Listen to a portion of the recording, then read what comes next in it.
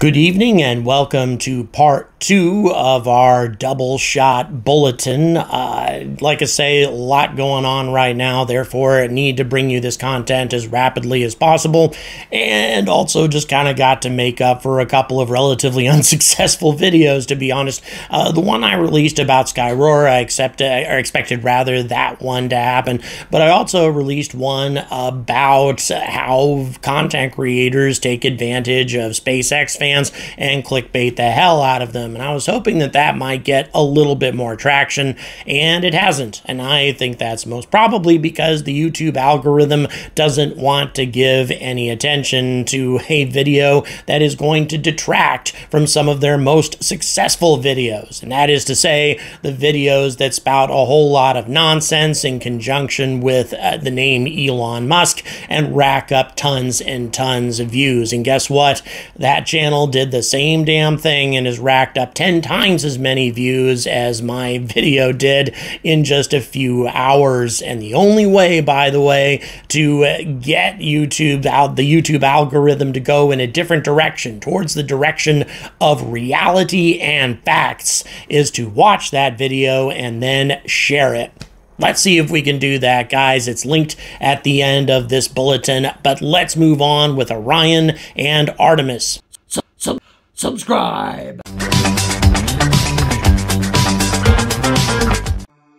So, after providing us all with some of the most magnificent and unique views, not only of the moon, but also of our own planet, Orion is on its way back, and everything with the spacecraft, for the most part anyway, has been performing perfectly. It carried out another trajectory correction burn at 4.43 a.m. using the reaction control system thrusters. It lasted about 5.7 seconds, and it's on its way back. Also, flight controllers used Orion Orion's cameras to inspect the crew module thermal protection system and the European service module, which was the second of three planned external spacecraft inspections. Teams conducted this survey early in the mission to provide detailed images of the spacecraft's external surfaces after it had flown through the portion of Earth's orbit containing the majority of space debris, and teams reported no concerns after reviewing the imagery. Everything's still going very well. But there is one unusual cool thing about this mission, which would really surprise just about anybody, including me. If there were astronauts on board Orion right now, they would be dead because there's no oxygen on Orion, nor is its life support system even being tested. Now, that makes no sense at all, at least on the surface of it. I mean, we need to make sure this thing is functioning properly. It's supposed to keep astronauts alive. How the hell can it do that if we don't even know if its life support system is functioning properly? Well, there is a big problem with trying to test a life support system when you don't have living beings on board. You don't have anything breathing the oxygen, therefore, it's not producing any carbon dioxide, which means your carbon dioxide scrubbers don't have to be tested, etc., etc. Unless you have living beings on board Orion, trying to test the life support system would be a waste of time. Now, in the past, NASA got around these problems by testing the life support system on animals. However, that approach seems to have fallen out of favor with animal rights activists, especially given the fact that Laika the dog, the first animal to ever really be tested on a spacecraft, died under horrible circumstances. So it's kind of understandable. However, it's not like they're testing anything. They are testing the nitrogen delivery systems on board Orion, which are very similar to the oxygen delivery systems. And by the way, this is on board the European Space Module, and Airbus is the one that's providing this particular piece of equipment.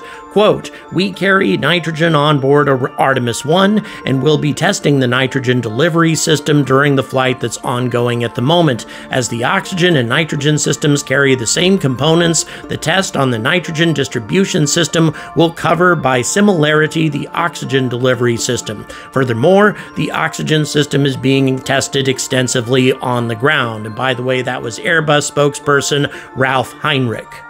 So Airbus and ESA are doing everything they can to test the system given the circumstances, but the real shakedown test for this life support system isn't going to happen until 2024 with the launch of Artemis 2. In addition to this, even though for the most part everything has been going very, very well, there have been 13 minor anomalies that have cropped up during the mission. One example of these is a set of erratic readings from Orion star trackers, which the capsule uses to navigate. This initially confused the team, but they eventually determined that the trackers were being dazzled by the glow from Orion's thrusters during burns. And when they identified that, they were able to work through the issue and correct it. Now, it's also worth noting that Airbus is making excellent progress with future European service modules for the future Artemis flights coming up. Like Artemis 2 has already been delivered and is currently being tested. Artemis 3 is nearly complete and almost ready for delivery.